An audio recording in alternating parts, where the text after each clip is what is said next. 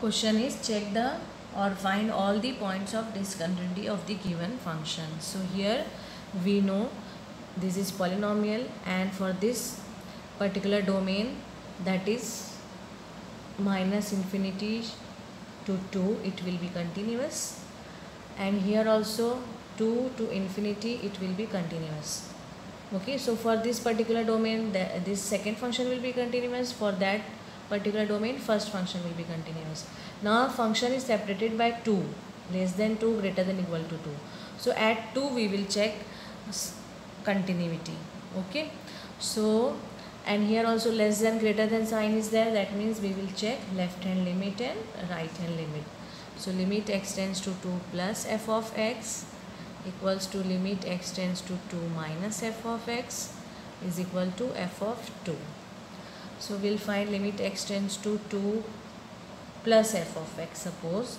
2 plus means value of x greater than 2 so in which function value of x is greater than 2 second function. So we will write second function.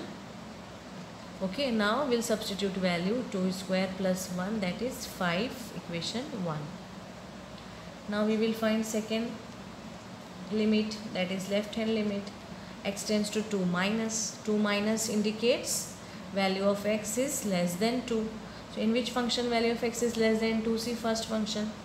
So we will write that function and after that we'll substitute value. So 8 minus 3 that is 5 equation 2 now last that is f of 2 so x equal to 2 so equal to sign is this. Okay. So directly 8 minus 3 5 see all these three values are equal so we will write from 1 2 and 3